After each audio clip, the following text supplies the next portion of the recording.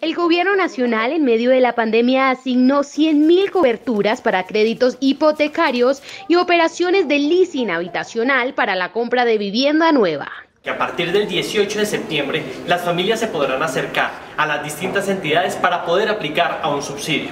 Este subsidio consiste en 438 mil pesos al pago de la cuota.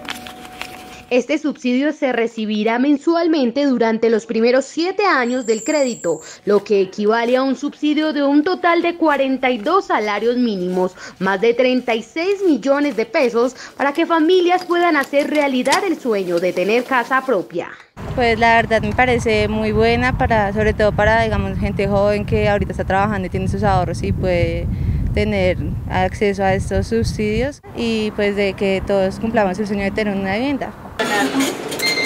La solicitud se hace a través de la entidad bancaria, según preferencia de la persona, al momento de solicitar un crédito hipotecario o leasing habitacional. Vamos a tener 100 mil cupos hasta 2022, que junto con los 100 mil cupos de la vivienda de interés social hacen parte del paquete de los 200 mil subsidios de reactivación de la economía colombiana.